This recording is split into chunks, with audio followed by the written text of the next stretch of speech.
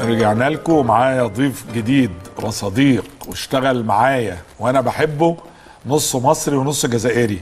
معايا الاستاذ أحمد صالح أو حموسة كما تعرف عليه الوسط الفني أهلا بحضرتك يا دكتور ميرسي يا على أحمد؟ دي منور. الدنيا. ربنا يخليك يا أستاذ إيه أخبار الجزائر عاملة إيه يا رب دلوقتي؟ مش عارف كانت واحد واحد لما آه، بس مستني ده بيقولوا مع إن المفروض إن بلجيكا هي الحصان الأسود وبيقولوا إنها أقوى فرقة في يعني برافو على الجزائريين ده في الجزائريين لما بيحطوا دماغهم حلو آه آه، لما بيحطوا دماغهم في حاجة هم على فكرة فرقة كويسة جدا يا رب يعني. الفرقة أنا شفتها في كذا ماتش في. في ال...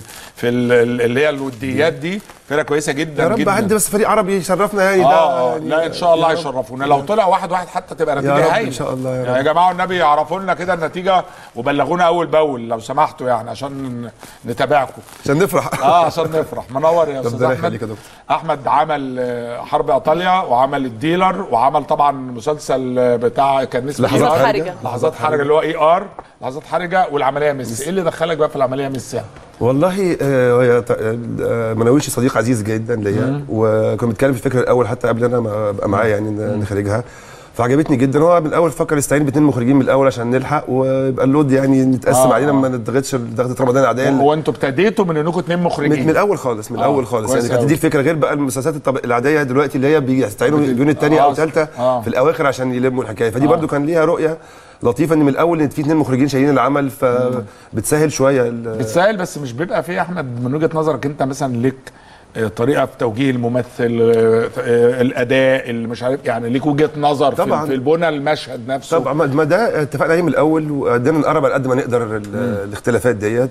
وان هو الموضوع أصلا مش صعب قوي لأنه في كوميدي. هو صعب في ال... في الدراما في العادية. الدراما الدراما العادية هتبقى أصعب طبعا آه. بس إحنا أول أسبوع تقريبا كنا شغالين مع بعض آه، آه نفس okay. الست عشان نظبط أداء الممثلين على قد ما نقدر ونوصل لفورمولا إن إحنا نمشي نفس ال track يعني آه وعرفتوا تعملوا ده الحمد لله لحد كبير يعني إن شاء الله نشوف بس الواحد آه دلوقتي ده لا لما أنتوا. بتحسوا إنه بتبقى يعني أنتوا بتحسوا إنه المية واحدة الحمد ال- لله، ال- آه، ال- آه. مش كده الحمد لله الحمد لله نسبة كبيرة يعني نسبة كبيرة طب بما إني اشتغلت معاك يعني معدلات التصوير كانت عاملة إيه لا أنا. أنا يعني الشغل أنا الوحدة بتاعتي تقريبا بعمل ربع ساعة في اليوم على الأقل آه يعني يعني. ده الحمد لله إيه ده إيه ده آه لا ده إيه حقيقي ده؟ لا إيه دي؟ مشاهد لا، بقى دي حاجة- 25 مشهد في اليوم بسم و12 الله ما شاء الله لا أصل أنا. كمان عارف إن هو ما بيتكروتش يعني لا، هو بيعمل الحاجات دي لله. يعني بيعمل حاجة كويسة. ولا هو يمكن اللي مسهل كمان إن- إن نوع العمل كوميدي فالكوميدي ما فيهوش تقطيعات كتير ما فيهوش details آه، آه، كتير آه، ما فيهوش يعني حتى يعني- آه حتى الخواجات بتشتغل very simple آه، آه، أحجام آه. مظبوطة آه، هو- مفيش crane ات ما فيش crane ات ما فيش close ات up يعني ما مفيش ممثل يجي يقول لك تاخد ال shot تاخد. المشهد 20 shot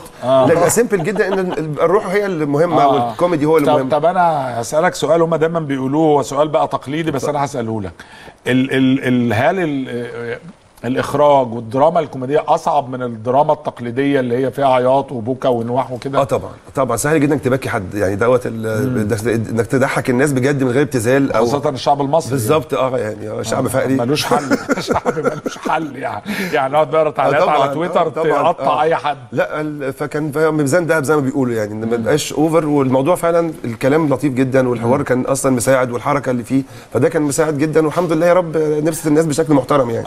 أنا يعني أنا سعيد إن في أجيال جديدة مش أنت طبعا مش بتكلم عليك بس عجوز، عموما آه. في الكتابة. لا لا لا. يعني إحنا جبنا هنا هبة رجل الغراب آه. ايمي إيمي سمير غانم. لا والأبطال بتوعها واللي كاتبين وبتاع في نفس جديد. تيست جديد آه. مش كده؟ وروح حلو. أعتقد آه باينه يعني آه في في نفس بشاير الثورة. بشاير آه العهد آه. الجديد على فكرة. على فكرة هذا الكلام قلته أول ما الثورة قلت لهم الثورة هتنتج فنانين جداد ومخرجين جداد وأبطال جداد إيه رأيك يا عمر؟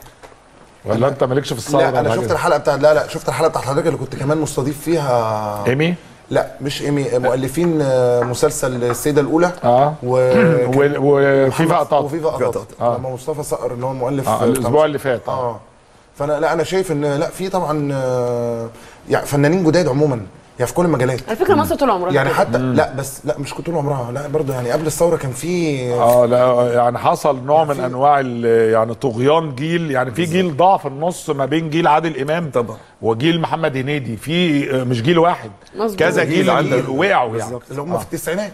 آه بالظبط. وكلام بقى للمنتجين. لا لا مش موضوع فكرة منتجين ال- الفكرة إن أنت يعني مش بيط... هو ما بيفيش دور إن هو يطلع منه فيبان فحد يختاره فيشتغل وفي بي في تو... هي لا موضوع كبير يعني توزيع ومين بيبيع ومين. ده آه. موضوع قصة آه، كبيرة يعني. أنت أنت بسألك بعيدا بقى عن العملية ميسي أنت نزلت في الثورة؟ آه البلد كلها نزلت في الثورة لا مش لا مش كلنا. لا أغلبها نزلت. طب أنت نزلت؟ نزلت آه. آه و- إيه رأيك في الكوميديا اللي كانت في ميدان التحرير؟ ال- ال- الحاجات المرعبة بتاعت ميدان لا ما هو ما هو كلمة شعب فقري دي حقيقي آه. يعني أنا أظن إن دي أصعب حاجة إن إنك تضحك المصريين. بيضحكوا في أي وقت آه في أي في وسط الحزن في ضحك. يعني في العزا إحنا العزا بتبقى أنت بتقعد بتضحك أصلا. يعني من ضمن من ضمن كمان الحاجات دي الكوميكس دي ما كانتش موجودة في مصر. يعني الحاجات اللي على فيسبوك دلوقتي دي من بعد الثورة. آه، نجيب. مشاهد من أفلام يركبها على كلام آه، سياسي دي حاجات تموت من الضحك. آه لا ده يعني طول بيعمل- الوقت. آه ده بيعملوا حاجات غريبة. الولاد في فيسبوك حاجة يعني. ما ده الجيل الجديد بقى يا رب اللي هو الأمل الجديد والروح الجديدة إن شاء الله يا رب. آه جيل إيمي مش كده؟ آه جيل إيمي.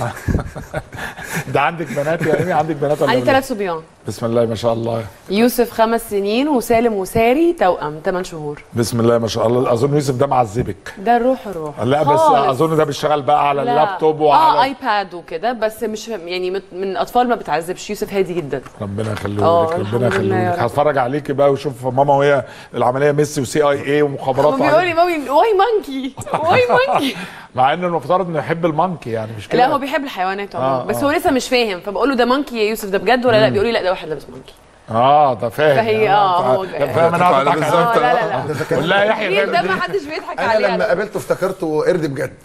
وأنا هو المسلسل. التكبير. ده أنت بس يا عمر دي حالة خاصة.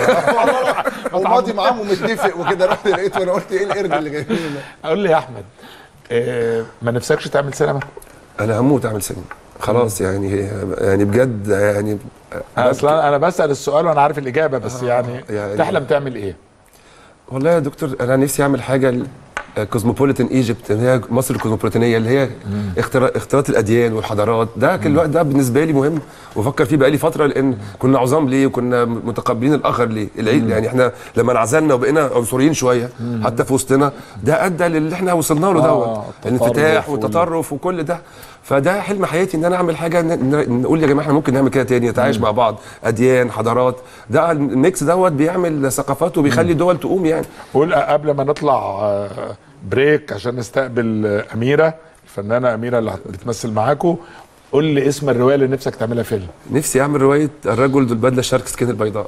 دي كان يا حلم حياتي من. الدكتور من أول ما قريتها وكلمت الدكتور عليها من كام سنة من قبل الثورة تقريبا كمان يعني. ربنا إن شاء رب الله. شاء الله. نطلع بريك ونستقبل أميرة الممثلة الجميلة معانا في العملية ميسي.